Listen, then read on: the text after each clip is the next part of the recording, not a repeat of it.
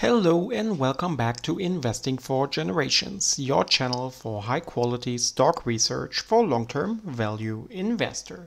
And today, as every weekend, I want to give you my weekly update for week 2020 of 2021.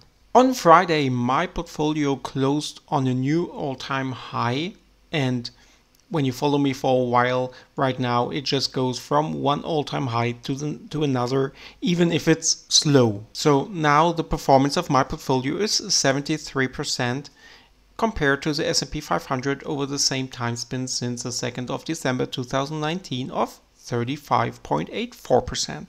So our outperformance of over 37%. Let's see how long this bull market can go on. And in this video, like every weekend, I want to give you an overview over my portfolio and what happened last week. First of all, I will look with you into the quarterly earnings of Scotiabank, then look at my transactions last week, the received dividends, and the performance overall. So let's start. But before we start, don't forget to subscribe and ring the notification bell to never miss another video and then just follow me on my road as a long-term value investor and what you can expect is just full transparency here in my portfolio and every week one or two videos. So as I said, let's start with Scotiabank. They reported their quarterly earnings last week and the Bank of Nova Scotia have an EPS of $1.90 Canadian and beat the estimations by 14 cents. The revenue of 7.74 billion was minus 2.8% to year over year and missed the expectations by 120 million Canadian dollar. The provision for credit losses was 496 million compared to 1,846 million, a decrease of 1,350 million or 73%. So the provision for credit losses ratio decreased 86 basis points to 33 basis points right now. So I would say overall solid numbers, not crazy good numbers, but solid numbers for the Bank of Nova Scotia. And with that, they also declared the dividend of 90 cents Canadian. Um, that's a quarterly dividend, of course, and this is just in line with the previous one. The forward dividend yield is at 4.43%. The forward dividend yield is 4.43%. I bought my shares of Bank of Nova Scotia in average for $38.68. That's US dollar. Purchase a little bit over $4,000 into the Bank of Nova Scotia. And you see here on the green dots when I bought my shares. And you see I bought a lot last year in the depth of the pandemic and then a little bit here, a little bit there, almost just the reinvestments also of the received dividends.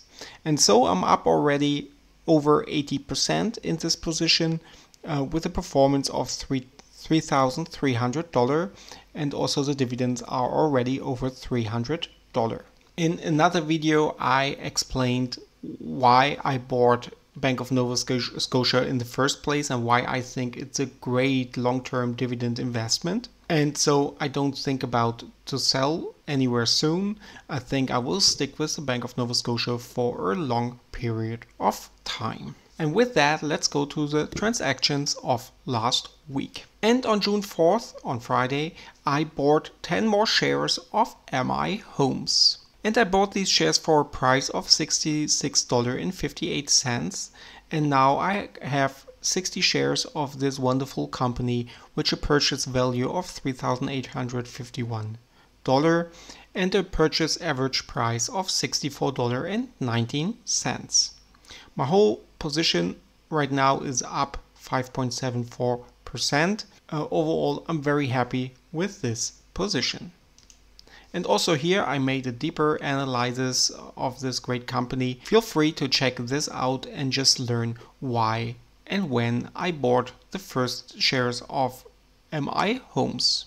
You'll find the link here up on the screen or down in the description below. Then also take a look at the received dividends of last week. And first of all, I received my dividend of Wells Fargo. This was a very small amount of $6.71. I received my dividend of Intel of $41.63. And I also received my dividend of Pfizer of $38.45. So overall, a little bit of cash flow into my account. And here you can see how much dividend I received uh, in every single month for 2020 is a blue graph or also in 2021 already it's the orange graph. And overall in 2021 I received um, $553 already in dividends.